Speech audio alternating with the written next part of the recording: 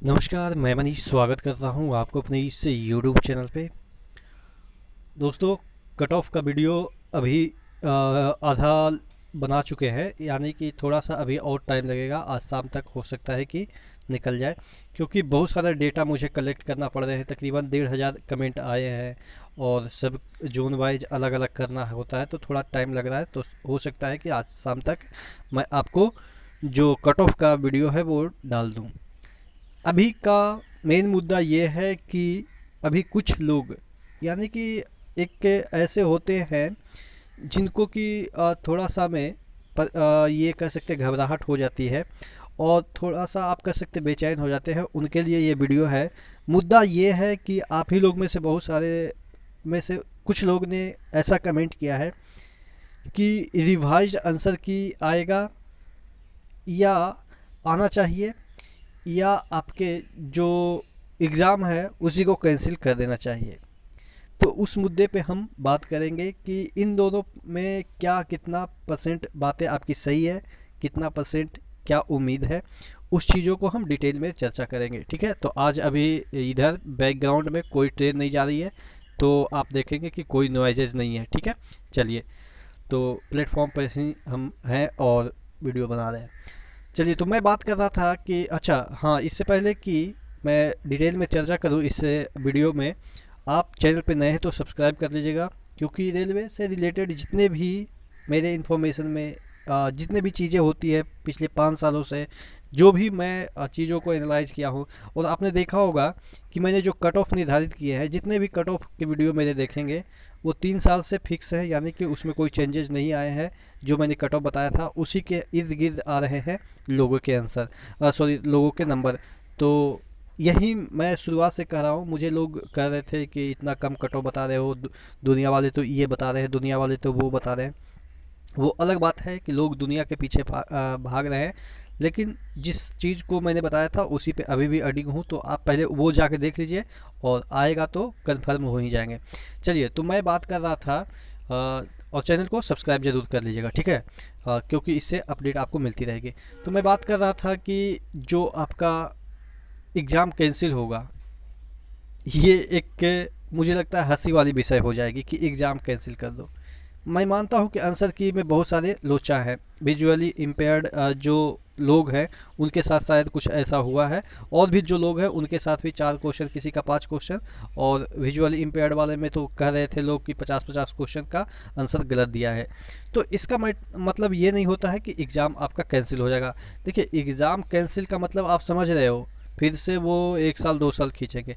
तो वो तो हंड्रेड एंड थाउज़ेंड परसेंट आप मान के चलो कि एग्ज़ाम कैंसिल नहीं होता है। ये आप अगर एग्ज़ाम दिए होंगे एल टेक्नीशियन का तो एक बार, फ़र्स्ट बार जब ये आंसर किया था तो इसी तरह के सिनेरियो थे। उसमें तो एकदम से बहुत बदतर सिनेरियो था। इवन उसमें भारत की राजधानी इस्लामाबाद तक सही किया गया था। मतलब कि एक एग्ज़ाम्पल के तौर पे हम बता रहे हैं कि ऐसे ऐसे वहाँ पे क्वेश्चन का आंसर गलत किया गया था। टू प्लस टू फोर होता है, वहाँ पे आंसर सोलह पे टिक किया हुआ था रेलवे के द्वारा। तो ये कोई नया नहीं रेलवे के साथ। रेलवे हमेशा ऐसा करती है, रेलवे छोड़ो टीसीएस की हम बात कर लेते हैं, क्योंकि रेलवे तो बदनाम हो जाएगा।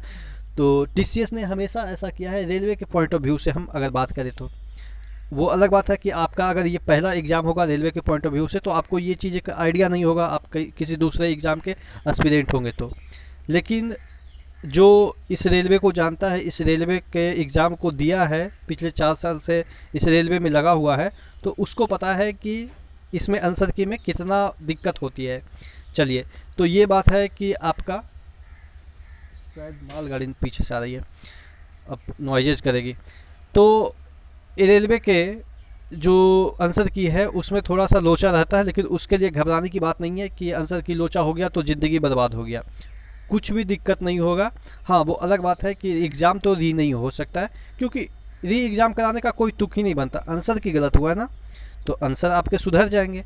उसके लिए टाइम भी दिया है। तो अब बात कर लेते हैं रिवाइज आंसर की आएगा क्या? देखिए रिवाइज आंसर की नहीं आता है कि फिर से एक बार आंसर की अपलोड करेगा।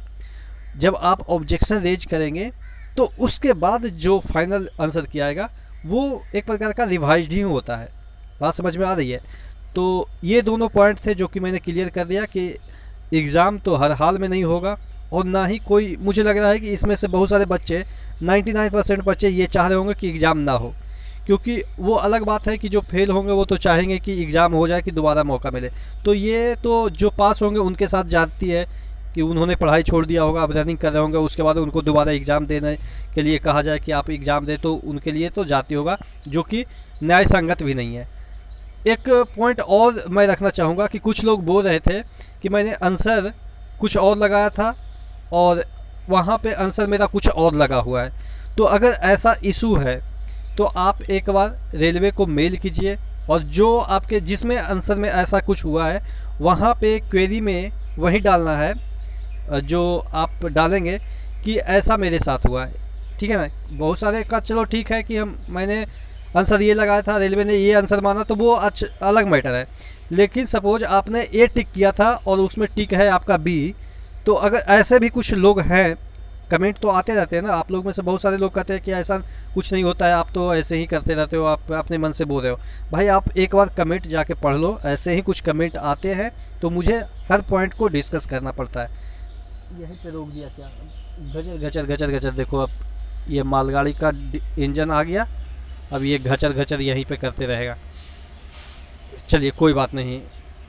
रेलगाड़ी का जाना आना तो लगा रहेगा। क्योंकि वो नहीं आगे जाएँगे, आएँगे तो फिर दिक्कत हो जाएगी हम लोग को। हम लोग को इन द सेंस कि पूरे इंडिया को दिक्कत हो जाएगी क्योंकि वो इंडिया का लाइफ लाइन है ना? तो रेल का तो आना जाना ज़रूरी है। हम लोग की तो बातें तो होती रहेगी और होनी भी चाहिए कभी कभी चलिए तो मैं बात कर रहा था कि वो जो पॉइंट है, वो भी अगर आपको लगता है कि हमने ए पॉइंट आंसर पे क्लिक किया था रेलवे वाले ने बी शो कर रहा है तो इस पर भी आप क्वेरी डाल दीजिएगा। अच्छा एक और पॉइंट है जो कि और भी आ, एक किसी ने कमेंट किया था कि क्लिक किया और वहाँ पे अभी पूरा ब्लैंक शो कर रहा है। उनका जो क्वेश्चन पेपर है वो पूरा ब्लैंक शो कर रहा है। तो जो भी इशू आपके हैं जितने भी इशू हैं जिस प्रकार के भी इशू हैं सभी आप क्वेश्चन के जो ऑब्जेक्शन रेज करने होते हैं उसके क्वेरी बॉक्स में डाल दीजिएगा कि ऐसा ऐसा प्रॉब्लम है सॉर्ट आउट हो जाएगा। बात कर लेते हैं कि कब तक रिज़ल्ट आएगा। तो देखिए, रिज़ल्ट भी जो है, वो मुझे लग रहा है तुरंत दे देगा। जिस तरीके से आपके ऑब्जेक्शन का समय बहुत कम दिया है और इतना ऑब्जेक्शन अच्छा एक चीज़ और कि आप लोग में से बहुत सारे ये लोग कर रहे हैं कि, सर, मैं अगर ऑब्जेक्शन रेज नहीं कर रहा हूँ और सेम क्वेश्चन पे कोई दूसरा बंदा ऑब्जेक्शन रेज कर लेता है तो क्या मेरा नंबर नहीं बढ़ेगा क्या? तो देखिए अगर, देखिए, उसमें क्या होता है ना कि कोड होता है। आप देखिएगा आईडी होता है एक एक क्वेश्चन का आईडी कोड जो भी है, बेजाते पूरा नंबर सिस्टम से उसमें लिखा रहता है। तो अगर उस कोड पे किसी ने ऑब्जेक्शन रेज कर दिया तो उस कोड के जो भी क्वेश्चन होंगे, यानी कि एक ही क्वेश्चन एक कोड के होते हैं तो सभी के नंबर बढ़ेंगे। फ़ी रिफंड होगा कि नहीं होगा? अगर हम जितने भी क्वेश्चन पे किए हैं तो फ़ी रिफंड हो जाएगा। अगर सही है तो फ़ी रिफंड हो जाएगा। नहीं है तो आपके गए पैसे।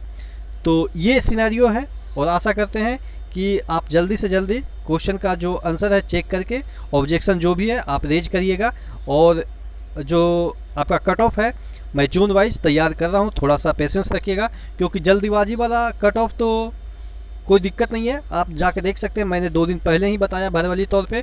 उससे तो ज़्यादा नहीं जाएगा, उससे कम जाएगा, उससे ज़्यादा आपके कट ऑफ़ नहीं जाएँगे। ठीक है? चलिए तो साइन अप करते हैं। यहाँ पे देखिए आके मालगाड़ी लग गई है। अब शायद यहाँ पे जो है वो इंजन चेंज करेगा या ड्राइवर चेंज होगा, उसके बाद यहाँ से रवाना होगी। चलिए तो नेक्स्ट वीडियो मिलते हैं। तब तक के लिए जय हिंद और संडे है तो संडे को इन्जॉय कीजिए। चलिए, ठीक है।